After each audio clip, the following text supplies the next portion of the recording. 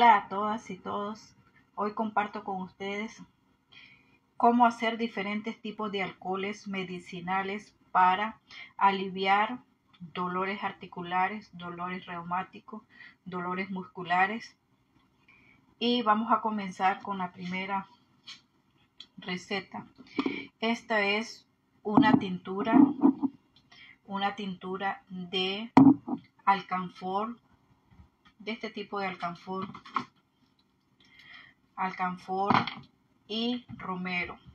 Esta es una tintura, como ya habíamos hablado la vez pasada que les expliqué que la tintura es un compuesto alcohólico, se hace con plantas secas o con plantas que están frescas.